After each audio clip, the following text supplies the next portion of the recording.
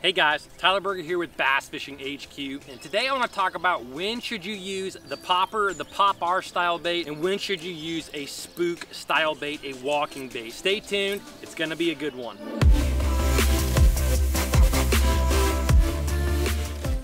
As always, this video is brought to you by the Bass Hat. Click the link in the description if you want to buy one and help support the Bass Fishing HQ channel. All right, guys, sorry, I had to change up scenery on you because it's like 93 degrees outside right now and my camera actually overheated and died. Before we get into the two lures and when I like to throw each one, I first wanted to talk to you about one misconception that I hear a lot when it comes to topwater fishing, and that is that topwaters don't work in muddy water. Although topwaters do tend to work better sometimes in clear water or a little bit stained water, they will work in muddy water conditions. Now, now, yes, there might be lures that work better, but topwaters do work extremely well. I'm not sure if you guys watched the Bassmaster Elite series that just happened on Lake Neely Henry, but that water was up and down. It had fluctuated a lot and it was pretty heavily stained and pretty muddy. But the bass were extremely keyed up on shad during that particular event. And there were several guys that made the top 10 and did really well in that event using a spook style bait in pretty off color water. And they did extremely well. They caught big bass. So guys, top waters do in fact work in muddy water. Now let's get into the baits and when I like to throw which bait, the walking style bait and the popping style bait and in what situation. Sometimes it literally doesn't matter. Sometimes there is no better option. Sometimes fish are just hitting on top. You see this a lot in the fall. You see this sometimes during post-spawn conditions. There's not always a right and a wrong when it comes to topwater fishing at times. Sometimes it just doesn't matter if you throw a popper, a plopper, a buzz bait, walking style bait, no matter what it is. Sometimes guys, bass are just hitting on top and it doesn't matter, but I am gonna talk to you about certain situations where I do feel like they hit a certain top water over another. The first one that I wanna talk about is spooks and the walking style baits, the ones you typically are walking the dog with back and forth, back and forth. Guys, this is a great bait, and like all top waters, it catches really big bass, and that is why I love, love, love to throw a topwater spook. I actually did kind of a mini series on spook fishing. I'll link that above so that you guys can click on that and go through that series.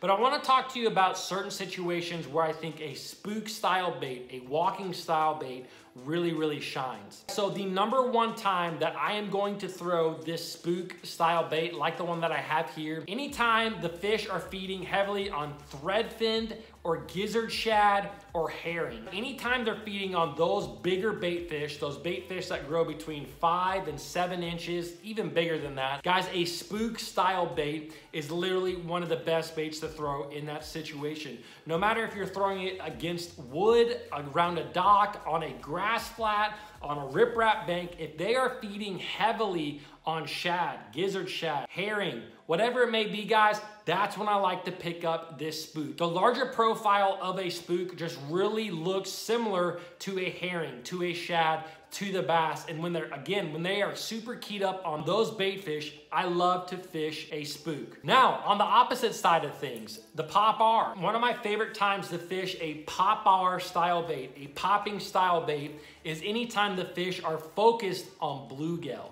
Guys, if the fish are focused on bluegill, again, whether it's around wood, around lily pads or grass, no matter where it is, if you know, if you're catching fish and they've got bluegill in their throat, or you can tell that there's a lot of bluegill around, that's when I love to throw a popper. And one of the biggest reasons that I love to throw a popper in those situations is because if you guys have ever heard bluegill feeding on insects, whether that's around lily pads or around grass, a lot of times they're going to make a popping sound. They're gonna come up, they're gonna pop as they hit that insect off the top of the water. And not to say that this popper makes that exact same sound, but it can make a popping sound and it really seems to work well. You can work a Pop-R style bait extremely slow. And bluegill aren't always the fastest animals. They're not like shad where they're constantly on the move.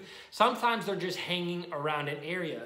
So a Pop-R style bait like this one I'm holding is going to resemble a bluegill a lot better. Now that is really the first and foremost thing. If I know they're feeding on shad, no matter what the conditions are, I'm gonna fish the spook style bait. If I know they're feeding on bluegill, that's when I pick up the Pop-R style bait. I also really like the Pop-R style bait when I'm fishing it around minnows. Sometimes you'll see bass chasing these really little minnows, and in that case, I like to use a small Pop-R and I'm gonna work it pretty fast and it really seems to resemble one of those little minnows really well, working it really fast and just letting it kind of spit water more than pop water. Now there are times when you don't know exactly what the fish are feeding on or maybe they're feeding on a lot of different things like shad and bluegill because bass are opportunistic feeders. So in that situation, I'm going to pick up the bait that makes me the most efficient out on the water. So let's talk about a few situations